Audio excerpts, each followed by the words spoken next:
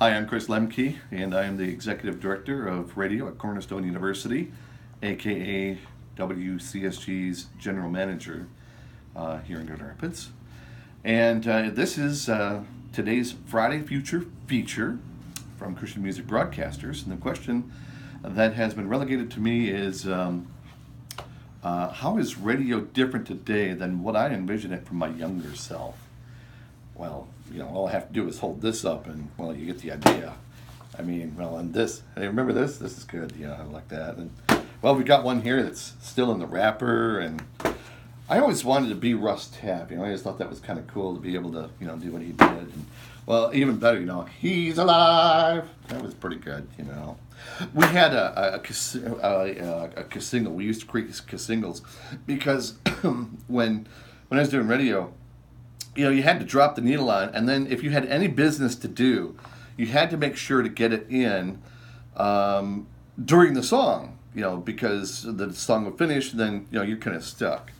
So if we didn't play Sandi Patty's "We Shall Behold Him," you know, we were in trouble. So we created this thing called a single. You know, you you you put two songs together, you segue two songs together, put it on a cassette, and then you could flush with no rush, which is what the cassette was actually called. So. Wow. Michael, you're still in it, babe. That's way to go.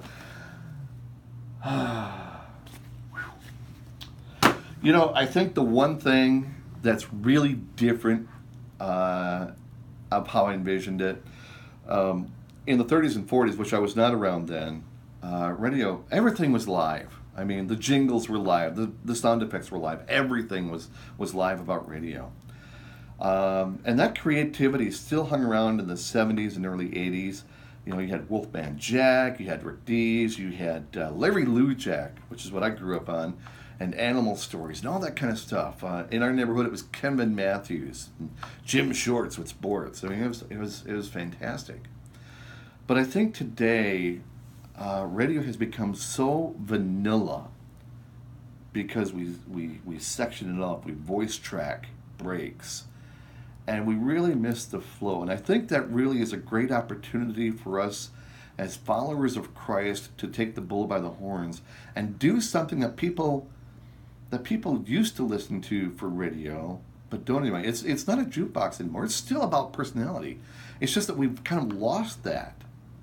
And I think there's a, a great wealth of opportunity that lies before us to be creative and to spend time developing ourselves as personalities, not just talent, but personalities. You know, you have an incredible personality, you have the most awesome message in the entire world. You you serve the most uh, matter of fact, he's called the creator, right? So you've been endowed with creativity to do what you do as an on-air person to connect with people. Man, I say connect then connect with people be real with people. Now yeah they don't want your trash but they want you. They want jesus. They they have that hole in their heart. And you have a creativity about you that can connect with them because you're not just doing it yourself you're doing it by god's grace. We have opportunity to help you do that to help inspire you to help encourage you to help equip you to be the on-air communicators that you are meant to be. Even when it comes to promotions or or doing sales or underwriting we have the tools at what we call Momentum. Momentum slated, you know this, September 7th through 10th in Orlando. There's still time to register. And if you are already registered, fantastic. I'm Chris Lemke. We'll look forward to seeing you in Orlando.